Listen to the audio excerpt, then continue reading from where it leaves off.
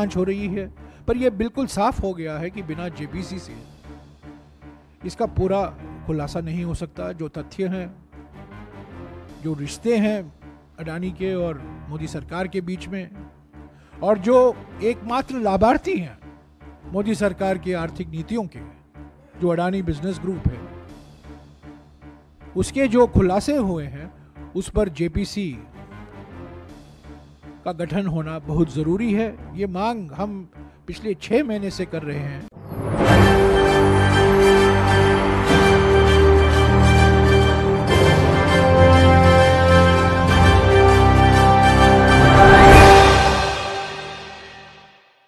नमस्कार, मैं नाजमिन खान और आप देख रहे हैं पी नाइन न्यूज़। संसद के विशेष सत्र की शुरुआत 18 सितंबर से होने वाली है। और आपको बता दें कि 18 सितंबर से लेकर यहाँ पर जब तक संसद की कार्यवाही चलती हुई नज़र आएगी, तब तक यहाँ पर विपक्ष इसका बहिष्कार करता हुआ दिखाई देगा। विपक्ष ने पहले भी इस मुद्दे को लेकर यह कहा था कि मोदी सरकार जानबूझकर विशेष सत्र को ला रही है। देश में कई ऐसे मुद्दे हैं, उस मुद्दों पर चर्चा नहीं हो रही है, लेकिन केंद्र सरकार विशेष सत्र लाने के लिए यहाँ पर जद्दोजहद में जुटी हुई है और इस विशेष सत्र का मकसद यही है कि जनता के दिलों पर राज कर सकें।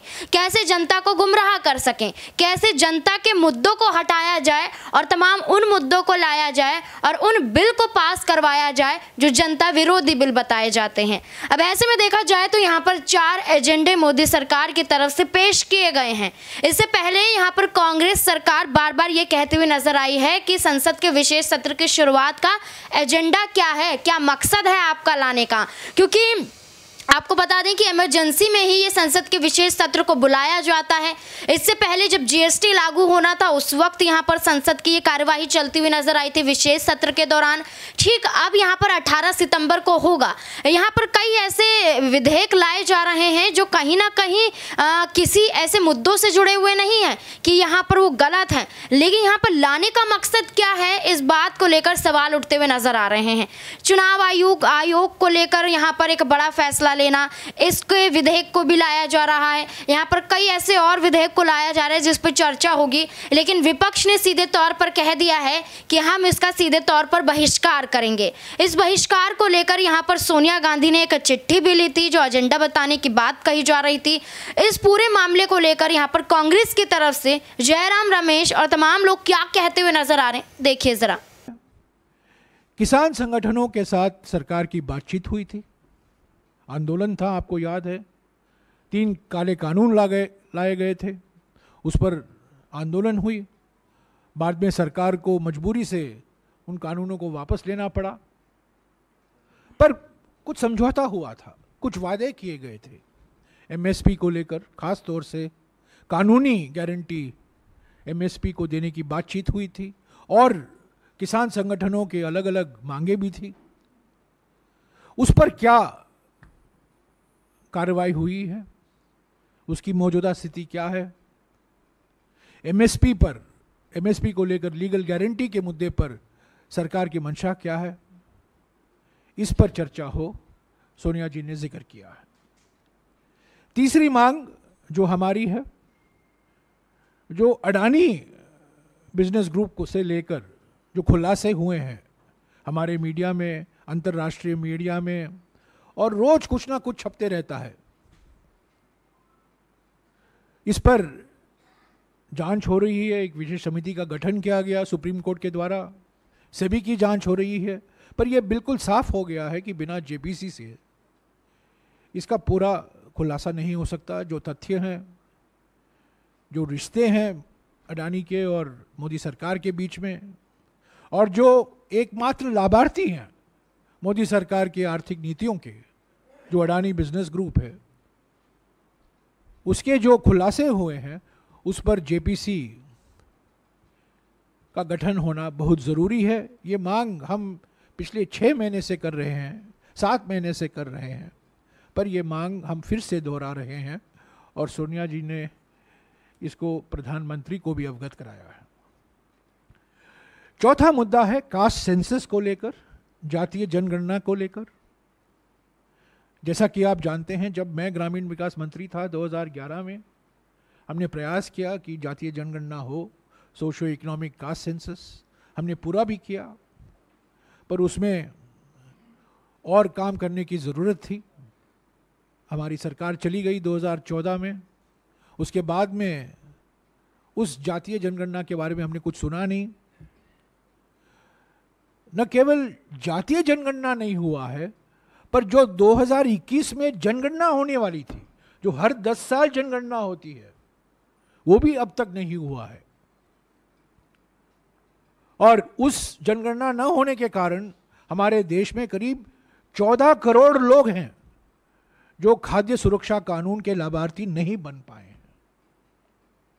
तो जनगणना होना ज़रूरी है, और खास तौर, विशेष तौर से जातीय जनगणना होना ज़रूरी है, क्योंकि जो सरकारी कार्यक्रम है, हमारे सामाजिक न्याय के कार्यक्रम है, सामाजिक सशक्तिकरण के कार्यक्रम है, नीतियाँ हैं, उसको और मजबूती देने के लिए ये जातीय जनगणना होना ज़रूरी है, अनिवार्य है। पांचवा मुद्दा है, संघीय ढांचा पर जो आक्रमण हो रहा है अलग अलग राज्यों में आप देख रहे हैं, तमिलनाडु में देखा है आपने केरला में देखा है, कर्नाटक में हमारा अन्न भाग्य गारंटी को रोका गया था। अलग अलग राज्यों में राज्यपाल की भूमिका रोज हम उसके बारे में पढ़ने को मिल, मिलता है। पर यह साफ़ हो गया है कि ये संघीय ढांचा पर एक जानबूझकर एक प्लान रणनीति के का, वजह, कारण है। कि राज्यों को, और खास तौर से जो राज्य बीजेपी शासित राज्य नहीं है, उनके सामने मुसीबतें खड़ा करना, उनको परेशानी में डालना, उनकी जो संवैधानिक हक है, जो संवैधानिक अधिकार हैं, उनको न न देना, ये सब मोदी सरकार की रणनीति है। और ये हम उठाना चाहते हैं, इस पर बहस होने की ज़रूरत है। और सोनिया जी ने प्रधानमंत्री को कहा है कि ये जो सेंटर स्टेट रिलेशन को लेकर सभी कई राज्यों में जो चिंता जताई गई है, कई मुख्यमंत्रियों ने भी कहा है, इस पर चर्चा ज़रूर कराइए। छठा मुद्दा है जो प्राकृतिक आपदाएँ हैं। खास तौर से हमने देखा है कुछ राज्यों में अत्याधिक बाढ़ हिमाचल प्रदेश जैसे राज्यों में अत्याधिक बाढ़ के कारण लाखों लोग विस्थापित हुए हैं, नुकसान पहुँचा है। और एक राज्य में अत्याधिक बाढ़ हो रहा है, दूसरे राज्य में, महाराष्ट्र जैसे राज्य में अत्याधिक सूखा हो रहा है। तो ये अत्याधिक बाढ़ और अत्याधिक सूखा, ये प्राकृतिक आपदाएँ हैं, पर अब तक इसको प्राकृतिक आपदा घोषित नहीं किया गया है। ये चिंता का कारण है, चिंता का विषय है। और प्राकृतिक आपदा में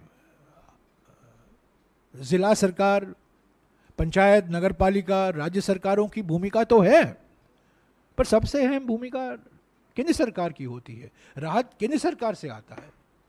कैलेमिटी रिलीफ केंद्र सरकार के माध्यम दिया जाता है। तो ये कई राज्यों ने भी बात उठाई है, और न केवल बीजेपी जो विपक्ष के राज्य हैं पर सभी राज्यों में जो प्राकृतिक आपदाएँ से पीड़ित हैं या तो अत्याधिक बाढ़ या, या अत्याधिक सूखा तो इस पर हम समझते हैं कि वक्त आ गया है इसको संसद में चर्चा हो और सोनिया जी ने इसका भी ज़िक्र किया है। सातवां मुद्दा चीन से लेकर है। आप जानते हैं 19 जून 2020 को प्रधानमंत्री ने स्वयं चीन को एक क्लीन चिट दे दिया था। पर उसके बावजूद आज हमारे ज़मीन पर चीन बैठा हुआ है। लद्दाख और अरुणाचल प्रदेश में हमारी सीमाओं पर गंभीर समस्याएँ पैदा हुई हैं। चुनौती है हमारे लिए, विदेश नीति के लिए। पर इस पर तीन साल से बहस नहीं हो पाई है। एक शब्द नहीं बोला गया है। हालाँकि जो शब्द बोले गए हैं 19 जून 2020 को, वो एक क्लीन चिट दिया गया है प्रधानमंत्री से। और इसका, इसकी कीमत हमें भारी तरीके से चुकानी पड़ी है। पर इस पर बहस होना चाहिए। और अगले रणनीति क्या, एक सामूहिक संकल्प हम दिखाएँ इसको लेकर। सिर्फ़ आलोचना के लिए नहीं पर हम चाहते हैं एक सामूहिक संकल्प संसद की ओर से दुनिया के सामने रखा जाए कि ये हमारे लिए सबसे बड़ी चुनौती है और इसका मुकाबला हम एकजुट होकर करेंगे। आठवां मुद्दा, जो सांप्रदायिक तनाव पैदा किए जा रहे हैं, मिसाल के तौर से हरियाणा जैसे राज्यों में, ये चुनावी रणनीति तो है ही, पर सांप्रदायिक तनाव कई राज्यों में प्रयास की जा रही है। कभी कभी जो संस्थाएँ हैं,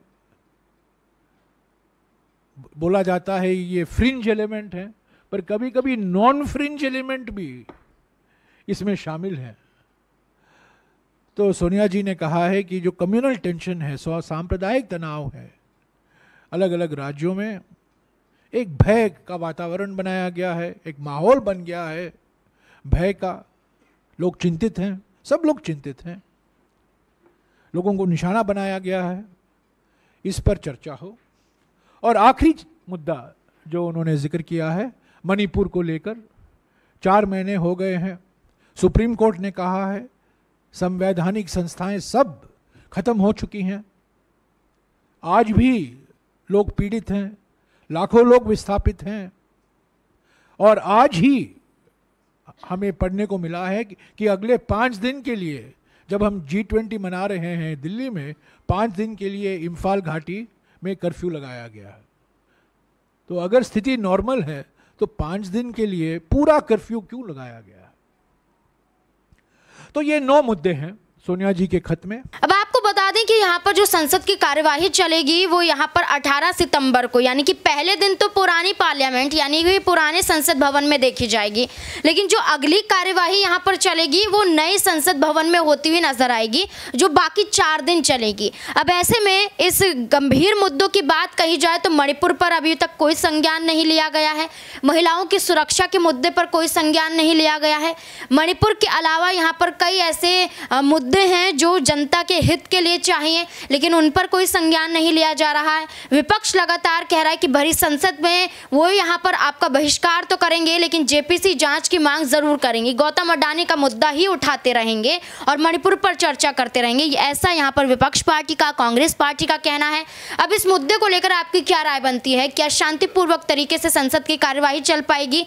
या संसद की कार्यवाही मानसून सत्र में जिस तरीके से देखा गया था कि बार बार कार्यवाही को स्थगित कर दिया गया था, ये कार्यवाही भी यहाँ पर स्थगित होती हुई नज़र आएगी। क्या है आपकी राय? कमेंट बॉक्स में ज़रूर बताएँ। धन्यवाद।